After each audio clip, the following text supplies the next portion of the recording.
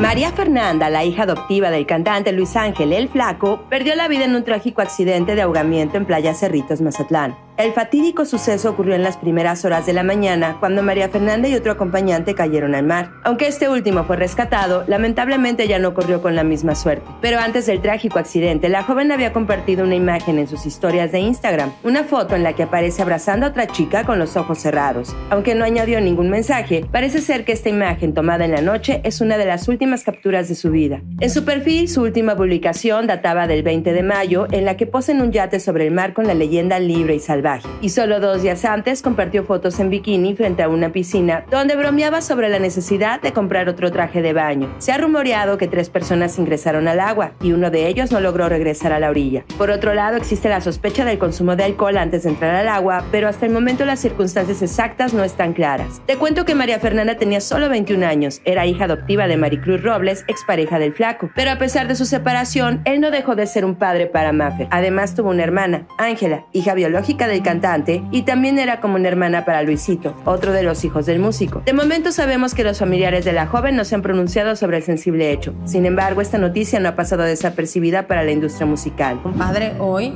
perdió a su, a su hija y debe estar viviendo el dolor más grande. Muchas personalidades llenaron de mensajes de apoyo y condolencias a las redes sociales del flaco. Beto Sierra, Jair Sánchez, El Commander, Lupillo Rivera, Los Recoditos, entre otros. En sus perfiles de redes sociales, María Fernanda solía compartir momentos felices en familia, disfrutando de playas y el sol, lo que hace que su partida sea aún más triste y sorpresiva. Pero vida, déjame que te bendiga porque así es la vida y sé no cabe duda que esto es un recordatorio de cómo la vida puede cambiar en un instante y la importancia de apreciar cada momento con nuestros seres queridos. Pero bueno, en otros temas te cuento cómo terminó la fiesta de Galilea Montijo, donde los invitados estrellas fueron Wendy y Nicola Porchela. Así que si te lo perdiste, aquí te lo cuento todo.